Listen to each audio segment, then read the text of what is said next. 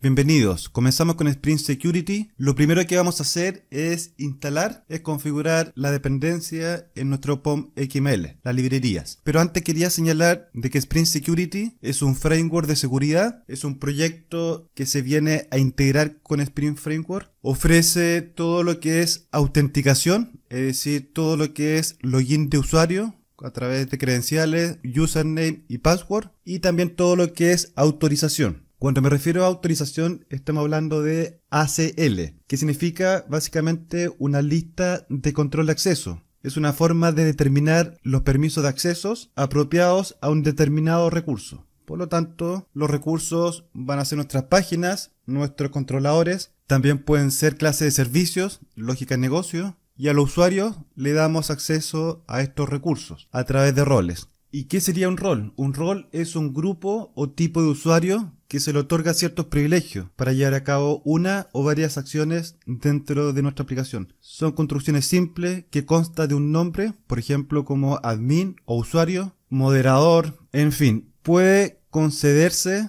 ya sea a los usuarios o incluso a otros roles. Se utilizan para crear grupos lógicos de usuarios para la asignación adecuada de los privilegios en nuestra aplicación. Recordemos que los privilegios serían nuestros recursos, nuestras páginas, el controlador, básicamente, nuestras vistas y también clases de servicio, lógica de negocio. Bien, entonces para resumir, Spring Security provee una configuración muy fácil, simple, minimalista, provee un formulario de login, también provee logout, autentificación ya sea en memoria o en base de datos o incluso podemos implementar nuestro propio sistema de login con nuestra propia estructura de tabla y esquema de base de datos. Por defecto ya nos provee un esquema de base de datos tipo con la tabla users y con la tabla authorities, que serían los roles, y también provee un proveedor de autentificación para ese esquema. Quedamos hasta acá, cualquier duda que tengan la revisamos.